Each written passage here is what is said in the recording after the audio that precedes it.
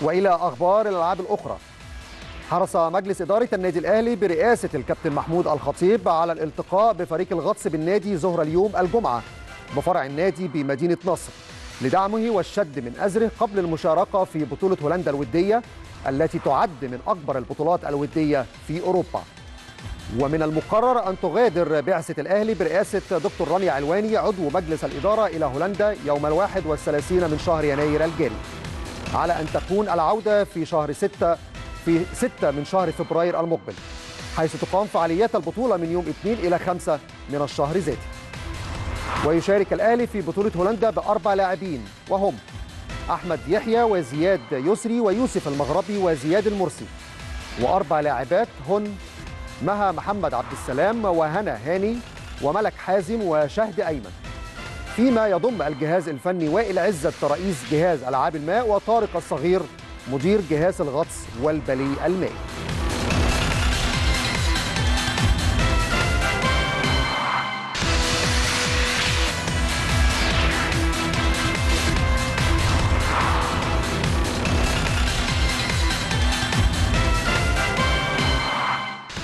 قررت اللجنة العليا المنظمة لبطولتي أفريقيا للكرة الطايرة بالأهلي برئاسة المهندس محمد الجرحي عضو مجلس الإدارة تجهيز فريق طبي متكامل لتقديم خدمات طبية مميزة أثناء البطولتين حيث تقام بطولة السيدات خلال الفترة من 15 إلى 25 مارس المقبل. أما بطولة الرجال فتقام خلال الفترة من 25 مارس وحتى 6 من شهر إبريل المقبل.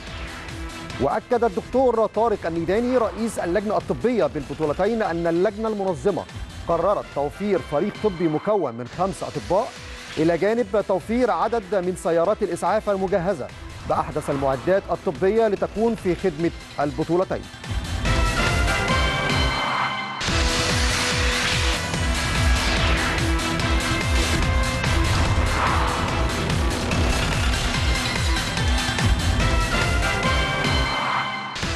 يؤدي المنتخب الوطني لكرة اليد تدريباته استعدادا لمباراة تونس في نهائي البطولة الأفريقية لكرة اليد.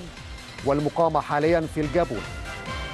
وكان المنتخب الوطني قد تأهل للمباراة النهائية عقب الفوز على المنتخب المغربي الشقيق بنتيجة 31 19 للمزيد من التفاصيل ينضم إلينا عبر الهاتف الكابتن خالد العوضي نائب رئيس الاتحاد المصري لكرة اليد ورئيس بعثة المنتخب.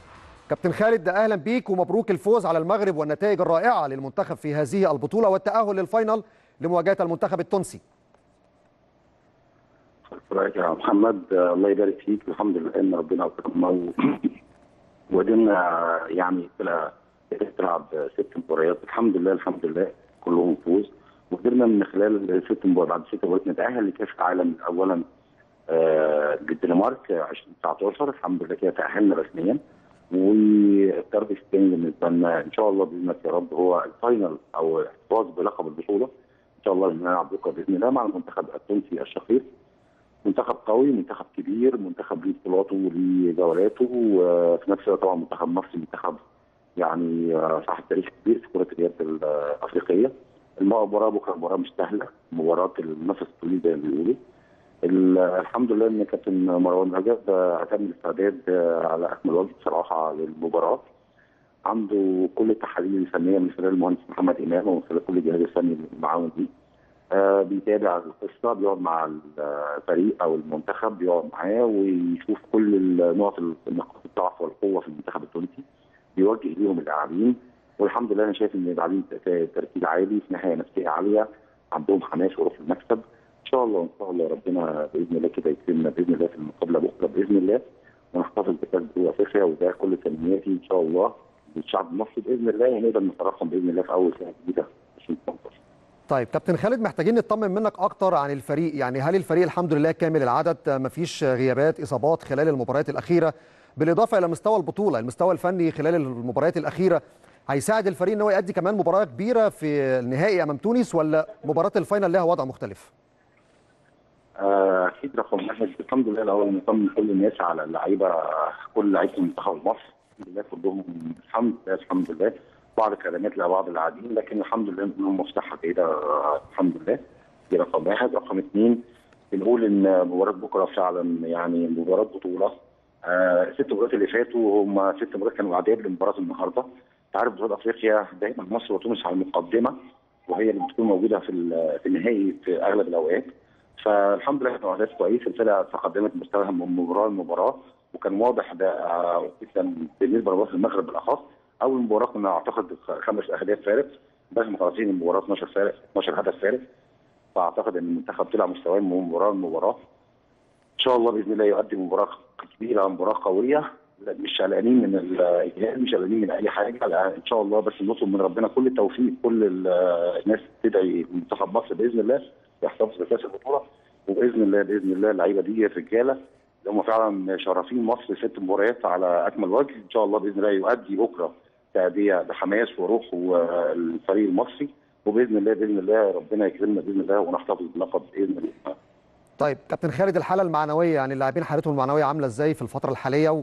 وبالتأكيد هناك شد ومؤازرة من خلالك ومن خلال أيضا الاتحاد والجالية المصرية كمان. يعني إحنا قدامنا بعض اللقطات يمكن شايفين بعض الجاليات العربية في المباراة قدام آه، مباراة مصر والمغرب. لكن الجالية المصرية برضو محتاجين نطمن منك متواجدة في الاستاد متواجدة في العاصمة الجابونية ليبرافيل بشكل كويس وحالة اللاعبين المعنوية واستعدادهم الحالة المعنوية بالنسبة للعلي حاله مرتفعة جدا الحالة النفسية للعلي مرتفعة جدا. يعني بص دراسات آه، تغطيه مع دكتور مروان رجب لكن أنا شايف إن اللاعبين متحفزين للمباراة متحفزين ل final بطولة افريقيا متحفزين يكونوا متواجدين. أنت عارف المحفل الأفريقي هو مباراة مصر وتونس وهو المحفل الأكبر في أفريقيا. هم محتاجين المباراة دي كلاعبين لاعبين في لاعبين كبار. عندنا نجوم كبيره زي كابتن أحمد الأحمر هو كابتن الفريق والراجل قائد الفريق وهو بيقعد يتكلم مع كل لعيبته.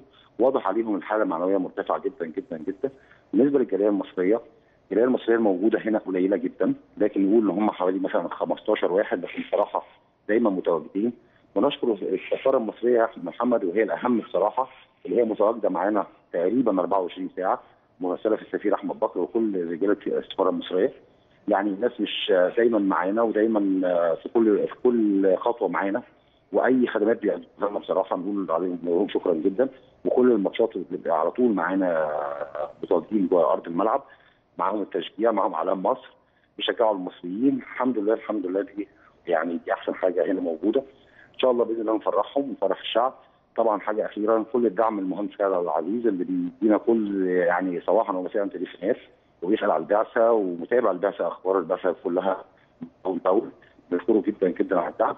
يا رب بس الناس يعني كده دعواتكم معانا وإن شاء الله بإذن الله يعني مكسب حديثنا بإذن الله. ونفرح الناس ونفرح كل الناس بإذن الله بكرة بإذن الله بمكسب بطوله أفريقيا. يا رب يعني بدعوا يا رب بإذن الله كل التوفيق ليكم لكن سؤال أخير كابتن خالد المباراة النهائية امام المنتخب التونسي هذا العام في البطولة الأفريقية هل تختلف عن المباراة العام الماضي نهائي العام الماضي؟ المنتخب التونسي تغير ولا نفس الصفوف زي المنتخب الوطني؟ بص أكيد أكيد الأمور النهارده مختلفة. في تغييرات حصلت في المنتخب التونسي كتيرة. بحكم إن هم عندهم بطولة أفريقيا في 2020 هم بيعدوا زي ما كنت واقف مع رئيس الاتحاد التونسي وقال إن هو بيعد جيل ل 2020 عشان يفوز باللقب جوه أرضه. أنت لما البطوله بتكون موجودة جوه أرضك بتعد عليها بشوية. هو بيعد العدة تماما للموضوع ده لأن البطولة دي هتكون مؤهلة مش لكأس العالم بس هتكون مؤهلة للأولمبيين. فهم طبعا عندهم عفوا طوكيو عندهم اللي هم يعني محضرين نفسهم على المباريات دي. إن شاء الله بإذن الله بإذن الله الاختلاف الموجود إن شاء الله خبرات لعيبة منتخب مصر تقدر تخلي المشهد مختلف جوه أرض الملعب.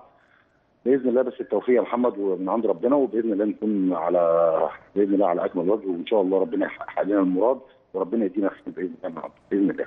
إن شاء الله موفقين ودايما كابتن خالد العوضي وشك حلو على المنتخب وكما كنت خلال الفترات السابقة أيضا مع النادي الأهلي رجعت بالعديد من البطولات والكؤوس وننتظرك بإذن الله على سلم الطيارة وأنتم راجعين من الجابون ومعاكم كأس أفريقيا كما دايما عودتونا في لعبة كرة اليد في مصر. شكرا جزيلا ليك.